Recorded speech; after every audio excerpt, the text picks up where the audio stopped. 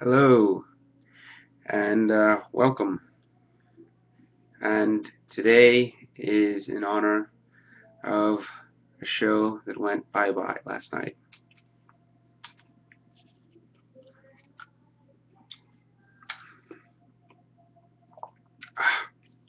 yeah. Burn Notice. Watched the finale last night and had to say goodbye to Michael Westen, Fiona Glenanne, Sam Axe, and Jesse Porter. Let me tell you, it was rough seeing Madeline Westen sacrifice herself. I mean, wow.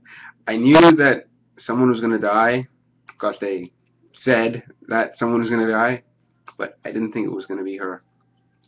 And I liked that Jesse and Sam are now continuing in Miami, good MIA, doing the do-gooder work where they use their spy skills or SEAL skills, however you want to remember it, and they just go and help people in need.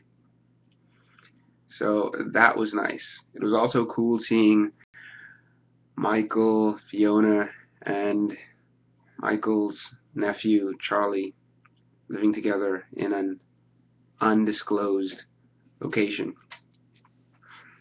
So, for some reason, I'm thinking either Canada or Europe.